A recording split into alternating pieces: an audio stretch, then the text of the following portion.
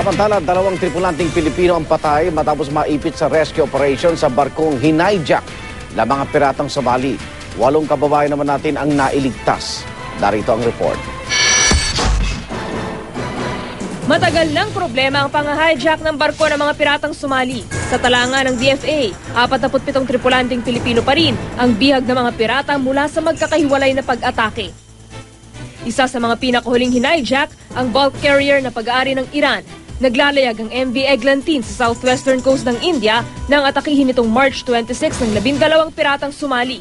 Sa 23 tripulante nito, 10 ang Pilipino. Matapos ang isang linggo, nagsagawa ng rescue operation ng Navy ng Iran. Nang matunugan ito ng mga pirata, itinali nila sa kamay ang mga tripulante at ginamit pang human shield sa gitna ng putukan. Ayon sa DFA, isang Pilipino ang patay matapos tamaan ng bala sa ulo. Bukod sa kanya, isa pa nating kababayan na nasawi nang masuffocate sa engine room kung saan siya nagkubli.